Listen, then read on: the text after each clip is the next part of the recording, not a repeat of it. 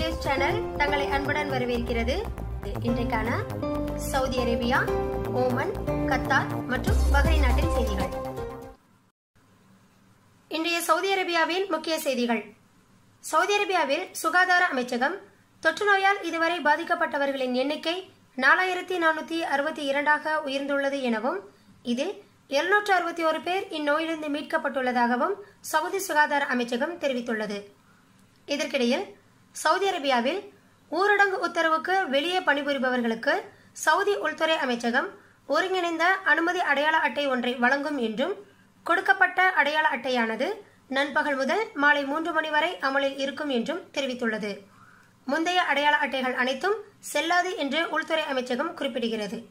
மேலும் சாலைகளில் போக்குவரத்தை கட்டுப்படுத்த ஒரு ஒருங்கிணைந்த அனுமதி அடையாள அட்டை அறிமுகப்படுத்தப்படுவதாகவும் அரசு துறையில் பணிபுரிபவர்களுக்கு அந்த அடையாள அட்டையில் அந்தந்த துறை தலைவர்கள் மற்றும் உள்துறை சிறப்பு குழு கையெழுத்திட வேண்டும் என்றும் கூறப்பட்டுள்ளது.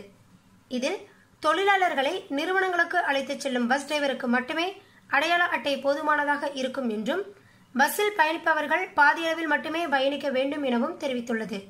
தொற்றுநோய் தடுப்புக்காக சுகாதார அமைச்சகம் வகுத்துள்ள முழு பாதுகாப்பு முன்னெச்சரிக்கை நடவடிக்கைகளுக்கு இணங்குமாறும் ஊரடங்கு உத்தரவை மீறினால் பத்தாயிரம் வரை அபராதமும் இரண்டாம் முறையாக மீறும் பொழுது இருபதனாயிரம் வரை அபராதமும் மூன்றாவது முறையாக ஊரடங்கு உத்தரவை மீறினால் சிறை தண்டனை விதிக்கப்படலாம் எனவும் உள்துறை அமைச்சகம் எச்சரித்துள்ளது. மேலும் சவுதி அரேபியாவில் இருபத்தி நான்கு மணி நேர ஊரடங்கு உத்தரவு விதிக்கப்பட்ட நிலையில் நாட்டின் பெரும்பாலான பகுதிகளில் தொற்றுக்கிருமியை அகற்றும் பணி நடந்து கொண்டு வருகிறது. இந்நிலையில் சவுதி ரியாத்திலும் தொற்றுக்கிருமியை அகற்றும் பணி நடந்து வருவதாகவும் இதை ரியாத்தின் ஆளுநர் மற்றும் அவரது துணைத் தலைவர் மேற்பார்வையிட்டு வருவதாகவும் தெரிவித்துள்ளனர். இதற்கிடையில் தொற்றுநோய் பரவி இருக்கும் சூழலில் கூட திருடர்களின் திருட்டு வேலை அதிகமாக காணப்படுகிறது. சாலைகளின் ஓரமாக நிறுத்தப்பட்டிருந்த பல கார்களில் ஜன்னல்களின் கண்ணாடிகள் உடைக்கப்பட்ட நிலையில் இருந்தன. ரியாத் வங்கி மற்றும் ஷார்ஜா ரயில்வேயில் உள்ள பாராகான் உணவகம் ஆகியவற்றிற்கு இடையே நிறுத்தப்பட்டிருந்த இந்தியர்களுக்கு சொந்தமான சுமார் பத்து கார்கள் பூட்டப்பட்டுள்ள நிலையில் பின்புறத்தில் இருக்கும் கண்ணாடிகள் உடைக்கப்பட்டு கிடந்தன. எனவே எல்லோரும் தனியாக வெளியே செல்லும் போது எச்சரிக்கையாக இருக்க வேண்டும் என்றும் வாகனங்களை அடிக்கடி பார்த்துக் கொள்ளுங்கள் வாகனத்தினுள் விலையுயர்ந்த எதையும் வைக்க வேண்டாம் என்றும் கேட்டுக்கொள்ளப்படுகிறது. ஓமனில் சுகாதார அமைச்சகம் ஞாயிற்றுக்கிழமை நிலவரப்படி தொற்று நோயால் புதிதாக ஐம்பத்தி மூன்று பேர் பாதிக்கப்பட்டுள்ளனர் எனவும் இதுவரை மொத்தமாக பாதிக்கப்பட்டவர்களின் எண்ணிக்கை ஐநூற்றி தொண்ணூற்றி ஒன்பதாக உயர்ந்துள்ளது என்று சுகாதார அமைச்சகம் அறிவித்துள்ளது. மேலும் இந்நோயிலிருந்து நூற்றி ஒன்பது நோயாளிகள் குணமடைந்துள்ளதாகவும் அமைச்சகம் தெரிவித்துள்ளது. இதற்கிடையில் மஸ்கட்டில் உள்ள இருபத்தி இரண்டு தனிமைப்படுத்தப்பட்ட மையங்களில் சுமார் மூவாயிரம் பேர் தனிமைப்படுத்தப்பட்டிருந்தனர். இந்நிலையில் ஐநூற்றி எண்பத்தி மூன்று பேர் தனிமைப்படுத்தப்பட்ட மையங்களிலிருந்து வெளியேற்றப்பட்டனர் என்று அப்பகுதியின் மேற்பார்வையாளரான டாக்டர் முகமது அல் சாதி கூறினார். மேலும் தொற்று நோயை கட்டுப்படுத்த ஓமனின் தலைநகரான மஸ்கட் ஏப்ரல் பத்து முதல் முழுமையான ஊரடங்கு உத்தரவில் உள்ளது. இது மறு அறிவிப்பு வரும் வரை மஸ்கட்டில் ஊரடங்கு உத்தரவு தொடர்ந்து இருக்கும் என்று ராயல் ஓமன் போலீஸ் அறிவித்ததாக ஓமன் செய்தி நிறுவனம் தெரிவித்துள்ளது. இந்நிலையில் முத்ரா மாவட்டத்தில் நடைபெறும் பொது சுகாதார தனிமைப்படுத்தும் முயற்சியில் மஸ்கட் கவர்னரேட் சேர்க்கப்படும் என்றும் ராயல் ஓமன் போலீஸ் ஒரு அறிக்கையில் தெரிவித்துள்ளது. இதற்கிடையில் நாட்டில் தொற்று நோயின் தாக்கம் அதிகரித்து வருவதாகவும் ஆனால் அது உச்சத்தை அடையவில்லை என்றும் தொற்று நோய்களின் வீதத்தை குறைக்க சுல்தானகம் தொடர்ந்து முன்னெச்சரிக்கை நடவடிக்கைகளை அமல்படுத்தும் என்றும் அமைச்சர் கூறினார். உலக சுகாதார அமைப்பு வழங்கிய அறிவுறுத்தல்களை கடைபிடிக்குமாறும் அமைச்சகம் பொதுமக்களை வலியுறுத்தியதுடன் குடியிருப்பாளர்கள் மற்றும் வெளிநாட்டவர்கள் வீடுகளிலேயே இருக்குமாறும் சுகாதார அமைச்சகம் கேட்டுக்கொள்கிறது. கத்தாரில் சுகாதார அமைச்சகம் தொற்று நோயால் இதுவரை இரண்டாயிரத்தி தொள்ளாயிரத்தி எழுபத்தி ஒன்பது பேர் பாதிக்கப்பட்டுள்ளனர் என்றும் இந்நோயிலிருந்து இருநூற்றி எழுபத்தைந்து பேர் மீட்கப்பட்டுள்ளதாகவும் சுகாதார அமைச்சகம் அறிவித்துள்ளது. மேலும் தொற்றுநோய் பரவுவதை தடுக்கும் கொள்கைகளில் கத்தார் அரசு தற்காலிகமாக சில தனியார் துறை சம்பளங்களை செலுத்தும் எனவும் கத்தாரில் இணைக்கப்பட்ட தனியாருக்கு சொந்தமான நிறுவனங்கள் தங்கள் தொழிலாளர்களுக்கு மூன்று மாத சம்பளங்களை வழங்க விண்ணப்பிக்கலாம் என்றும் விண்ணப்பங்கள் ஏற்றுக்கொள்ளப்பட்டால் கத்தார் வங்கியால் நிர்வகிக்கப்படும் ஒரு திட்டத்தின் கீழ் ஊழியர்கள் நேரடியாக தங்கள் கத்தார் வங்கி கணக்குகளில் பணத்தை பெறுவார்கள் என்றும் அறிக்கையில் தெரிவிக்கப்பட்டுள்ளது. கத்தார் குடிமக்கள் மற்றும் வெளிநாட்டு தொழிலாளர்கள் கிட்டத்தட்ட தொண்ணூத்தி ஐந்து சதவீதம் பேர் பணம் செலுத்துவதற்கு தகுதியுடையவர்களாகவும் இந்த புதிய திட்டத்தில் மூன்று பில்லியன் ரியால்கள் செலவாகும் என்றும் எதிர்பார்க்கப்படுகிறது.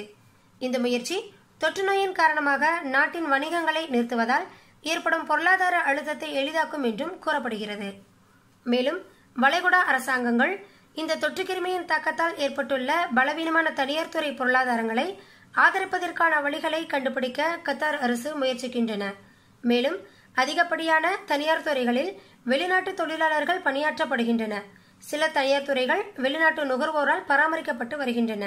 இந்நிலையில் சில தனியார் துறைகளில் ஏற்பட்ட சிரமங்களுக்கு வெளிநாட்டு ஊழியர்களின் சம்பளங்களை குறைக்கவோ அல்லது பணியாளர்களை பணி நீக்கம் செய்வதற்கு பதிலாக ஊதியம் பெறாத விடுமுறையில் வைக்குமாறு ஆலோசனை செய்தும் வருகிறார்கள்.